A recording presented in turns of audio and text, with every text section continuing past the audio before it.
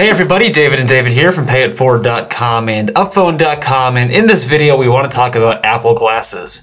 Now you might be sitting there thinking, what are Apple glasses? Well, it's a new rumored product that'll be coming out 2021 or 2022 and it is what it sounds like. Apple is maybe making a pair of glasses. Yeah, and this is more than just a rumor at this point. Mm-hmm.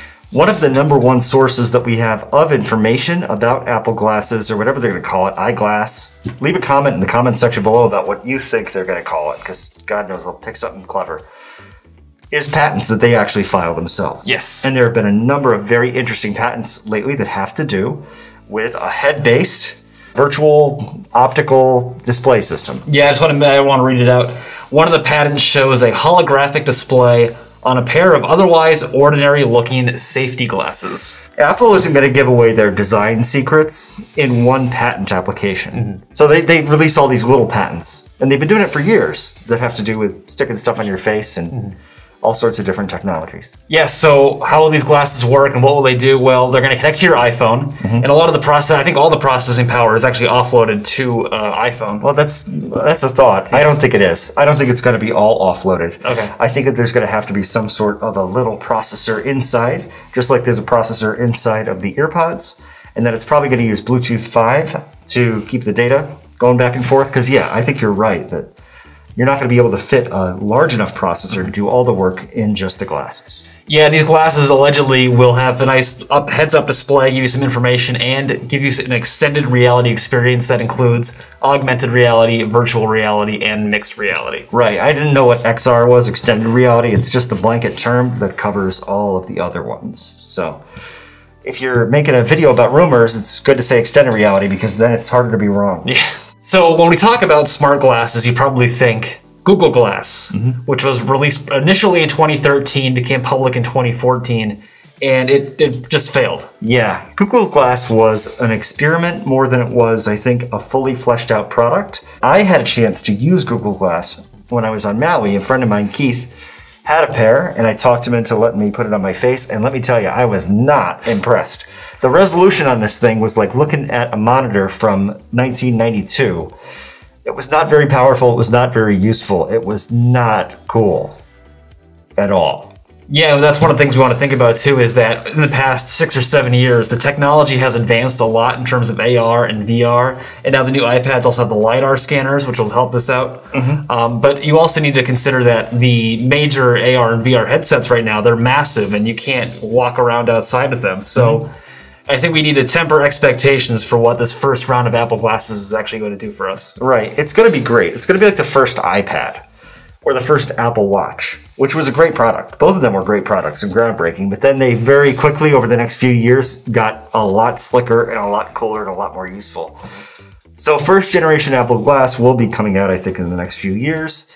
You'll probably be able to get prescription lenses. You can, yeah. That's that's the rumor that you can have your own prescription lenses with the glasses. I'm not. I don't think I would be doing that, but yeah, man, it's going to be really cool. I'm not exactly sure what they're going to, you know, heads up display is just you're looking out at the world and you see the weather over here and you see you see it in cars now. They put the speedometer on the windshield of some fancy cars, but uh, not my Camry. Yeah. Yeah, starting price for these glasses rumored to be $499. Pretty reasonable price point for a brand new product like this. Yep, and it's a complete rumor, so we could be completely wrong on that. And if you have to add prescription lenses, I'm sure they'll make it very expensive and possible for you to do that as well. Yo, people can come back to this video in two years and just say they were wrong about this, this, this, and this. So. Right. But hey, at least we took a stab at it. Yep. And, you know, this is more than just a rumor at this point. People are talking about it. Yep. Mm-hmm. I mean, I guess that is a rumor. That's sort of the definition of a rumor, I guess. So I think we should really talk about usefulness again, and really hammer this point home and what people can actually do with these glasses. Yep. If there's no use for it, there's really no point of having the product, and that's what Google Glass. Uh, that, that's where they failed really. So with Apple glasses, let's talk about accessibility. People that have low vision or vision problems, imagine just being able to look anywhere and expand or blow up what you see. It would, it would fix all sorts of problems. Mm-hmm. You know, reading a book that with small print, fixed, done, amazing this technology. Yep. I don't exactly know how they're going to do it, but it is amazing.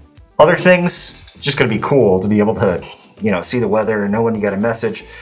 It's going to possibly, it'll be interesting the driving experience as you're driving down the road. Yeah. How much is going to be able to be less distracting, and how much is going to be more distracting? You know, if you've got messages flying in from over here, and you know, Yep. We should also probably mention that there's not going to be a camera on Right. these glasses. Uh, that would create a huge privacy issue. I know Google Glass had the camera, yeah, uh, but that uh, major privacy issue with that. yeah, people don't like that idea, so there might not be a camera. I wouldn't be surprised if there's some sort of a camera. Yeah, we really want to hear from you on this too. Yeah. What do you think about Apple glasses? And leave us comments down below. Maybe we'll follow up with a video like Apple glasses predictions video. Yeah, with what you guys say too. Yeah. So, like, what are they going to be used for? What are the features that you're looking forward to or not looking forward to?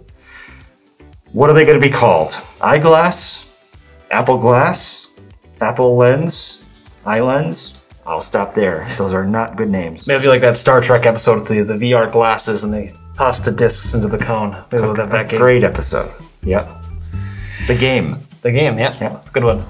So that's our video on Apple glasses. Thanks for watching. As we said, leave us a comment down below. Tell us your thoughts, what it's going to be named, all that stuff. Uh, give this video a thumbs up if you enjoyed, and don't forget to subscribe to this channel for more great videos about Apple products.